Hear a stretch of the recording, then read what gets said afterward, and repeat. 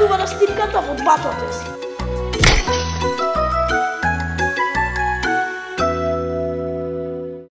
Добар ден. Слушајте невнимателно, јас сум Мија. А јас сум Доротеја. Гледајте што ќе што ви го подготвивме денес. Ќе ви ги откриеме најубавите животни на светот.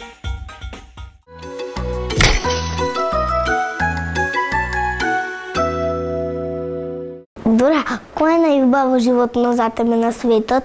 За мене најубаво и најинтересно животно е било зајаче. Многу сакам зајачиња. Јас многу ги сакам мечињата панда. Многу се сладки.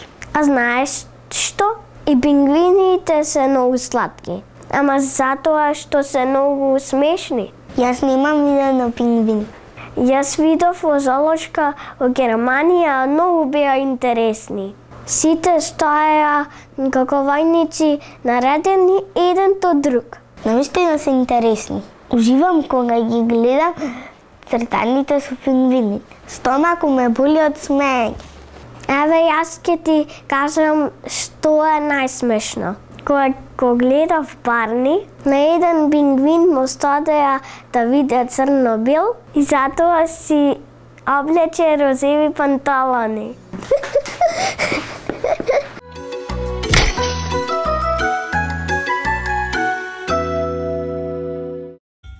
Не е изненадувачки, многу од најубавите животни ширум светот се големи мачки. Од сибирски тигар до чита, најбрзото копнено животно на светот. Покрај убавината, ова мачка има сериозни вештини. Јагуарот, леопардот, белиот лав и орелот. Изборот и не е толку лесен, колку што се чини на прв поглед. Тие се прекрасни примери за чудото на еволуцијата, прекрасни смртоносни предатори кои преживеале со векови.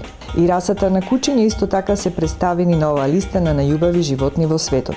Кој може да негира дека сибирската хаска со тие неверојатни очи и звонредно крзно не е едно од најубавите животни на земјата? Секако дека не можеме да ја одминеме и домашната мачка, која исто така се појавува овде со раси како норвешка шумска мачка. Кои се најубавите животни на свето?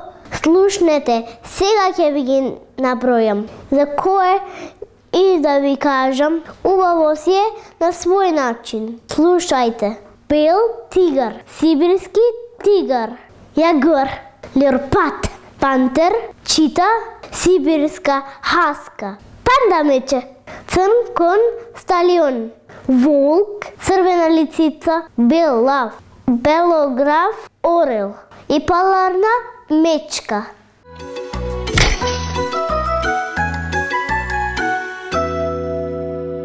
Вау, навистина се убави овие животни. И во право си, начето панда е навистина сладко.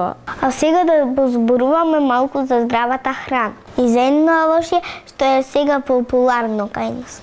Тоа е авокадото. Може би чудно изгледа, но да знаете дека е премногу здраво да се јаде. Особено за нас децата. Изгледа како круша. Внатре има голема торк, тркалезна семка кој личи на топка.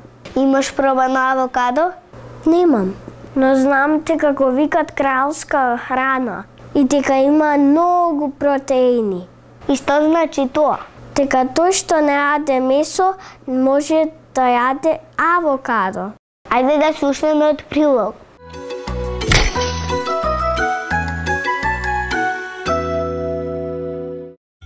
Авокадото често го нарекуваат совршена храна на природата, бидејќи може да се рече дека содржи се што човек треба за да преживее.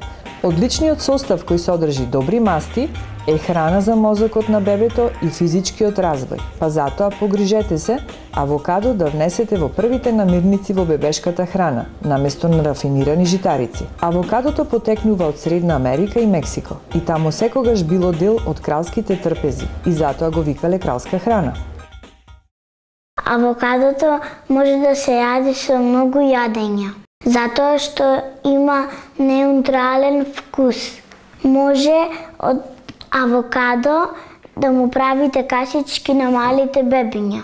Оно што е најважно, авокадото дали е зрело. Ако едната половинка ја изедите, другата зафиткајте ја во фолија и чувајте во фрижидер.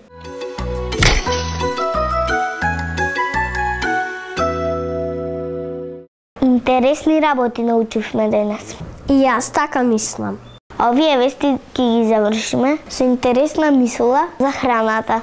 Не можеш да купиш стреќа, Но можеш да си купиш мафини. А тоа ако редово ти е иста работа. убав ден на сите. Довидување!